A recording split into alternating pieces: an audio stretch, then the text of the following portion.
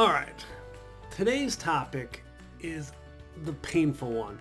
I'm talking about when you start to like a man, especially in the early stages where you start kind of forward tracking and you're like, is this my life partner?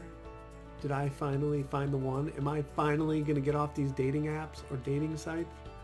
Is this it? And now you're not so sure because he starts ignoring you. And your life partner is probably not going to ignore you. And I made this video because you're wondering what the heck is he thinking? I'm Mike Goldstein of EZ Dating Coach, the most efficient dating coach in the world. 83% of clients into relationships. And the folks that are already into relationships, we make them better. Okay, Manning ignores you. We got to put men into two buckets because um, that's going to tell us what to do here. One, he likes you. And the second bucket is he doesn't like you. The guy who doesn't like you, we got to get rid of him, right? The guy who likes you, we're much more interested in. What is he thinking? Most of the time, the male brain is focused on whatever he is doing. So if you're dating a busy guy, you decided I want Mr. Corporate, you know, works 60 hours a week. He is focused on that job. He is focused on whatever he's trying to accomplish. And after work, if you know he works out or he has his TV routine or whatever, he is focused on that thing. The male brain is straight line. Think of a one-way street. That's all he's doing. And he's he does not multitask. The way your brain works is not the way his brain works.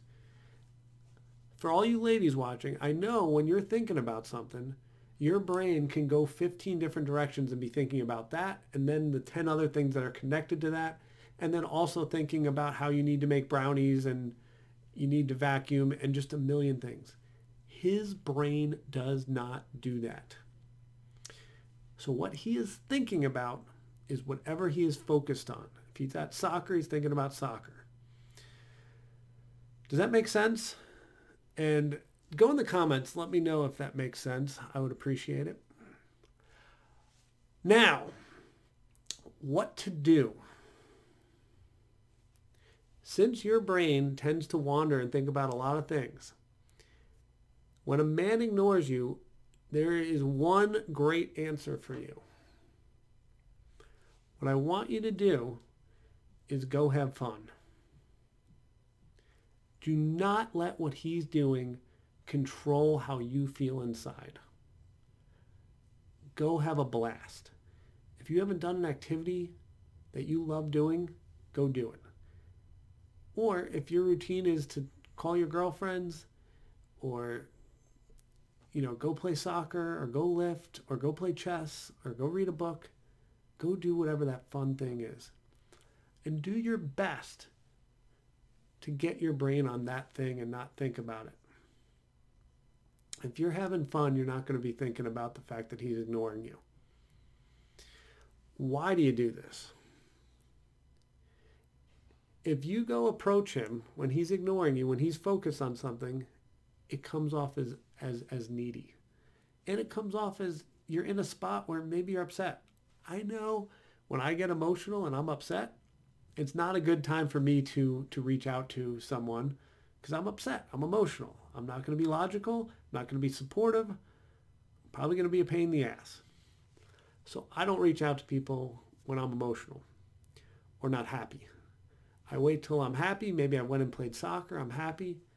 And now maybe I may talk to them. Or I may wait for them to reach out when they're ready. And that's your approach.